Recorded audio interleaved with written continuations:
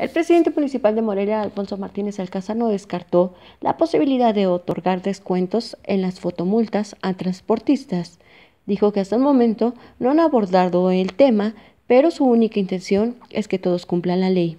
En entrevista, el alcalde capitalino recordó que los transportistas pidieron información sobre el sistema, la cual respondió el ayuntamiento mediante una misiva que fue entregada a los líderes quedaron en llegar, hacerles llegar una respuesta para concertar otra reunión, debido a que los transportistas están más expuestos a las multas porque la mayor parte del día se la pasan conduciendo, estos pidieron descuentos al municipio a cambio de colaborar con el sistema de movilidad. Carla Yala, respuesta.